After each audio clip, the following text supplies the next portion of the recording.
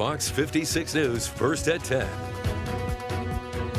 The college basketball season is well over, but for one area college player, it's time for him to take a big giant leap to the Big East Conference. Fox 56 Sports Director Bob Ide shot some hoops with this Keystone College giant who's headed north. We're up at Keystone College today visiting Jack Anderson. Jack has some big news for us. We'll get to that a little bit later on. And Jack, uh, talk to me about your career here. You, you stayed here three years. Uh, how did it go? How do you think it went? It was great. The best uh, experience uh, of my life, really, athletically, academically, um, just being a part of the community up here has been great. Okay. We're going to shoot some hoops today, so let's get you shooting. And uh, uh, just talk to me about how you started playing basketball and, and you know, and how, when did you know you were pretty good at it?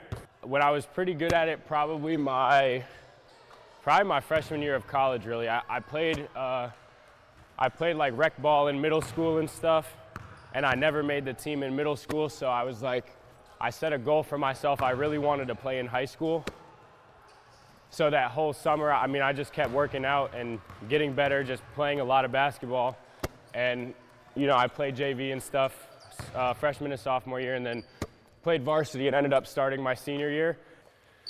Okay, so how often do you shoot in the gym? I mean, you seem like a gym rat to me. Mm-hmm. Yeah, every day. Um, we have to get, our coach kind of puts some out there six hours a week, but uh, most of us get that. I Last week, I think I got like nine hours or something, but that doesn't include pickup. So, like, we'll come in, me and my teammate Brandon will come in in the morning, um, get some shots up for about an hour 15, hour and a half, go lift later, and then we'll play pickup with the team at like, like later in the afternoon.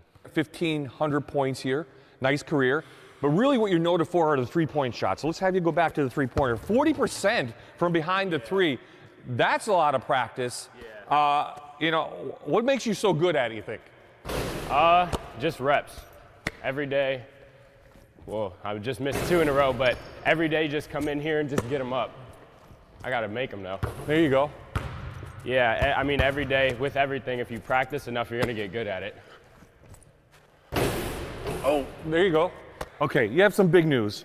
It's not often guys from Keystone College go play big time college basketball, but Jack, uh, where are you going to go in the fall? Uh, uh, in a month, I, I'm, I'm going to be going to Marquette in Wisconsin to walk on there. So people don't know Marquette, top 20 team. Who's the coach? Shaka Smart. Shaka Smart, one of the best coaches in college basketball. They made the NCAA tournament. God, that's got to be exciting for you. I'm. It, when I went up there to visit, it felt like I was at Disney World. All the facilities, um, all the coaches on their staff, they have like 10 of them. Just everything about it is awesome, and I'm glad I'm able to be a part of it. Bob Ide, Fox 56 Sports. Bob will continue his conversation with Jack Anderson Thursday at 10 right here on Fox 56.